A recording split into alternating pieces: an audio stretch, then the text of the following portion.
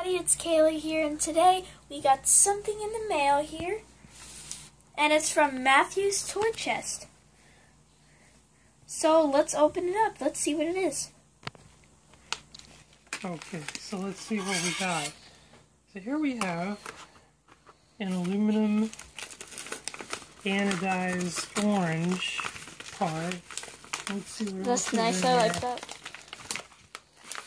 Something in there. Alright, here we go.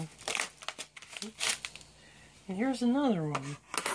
Now, these look like parts for a Baja 5B.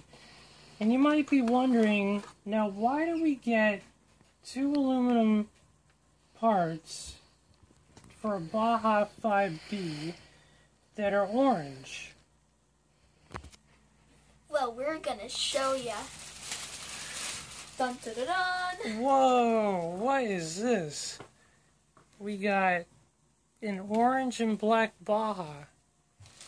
So this is what Chris from Matthew's Toy Chest, thanks Chris, for sending us these parts. Because this piece here is actually bent, and he sent us the other piece, which is that.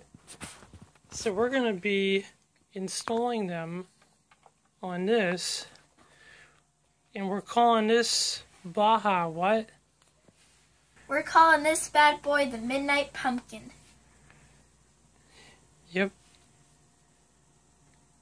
So if you're wondering where we got this from, we got this from Gary from GRC. Make sure you go subscribe to him. And um, don't forget to give him a big thumbs up. Oh, we also got these tires here. Dune Ra- Ripper. Top Secret Racing. They're pretty nice tires. I like this. Oh yeah, that's cool.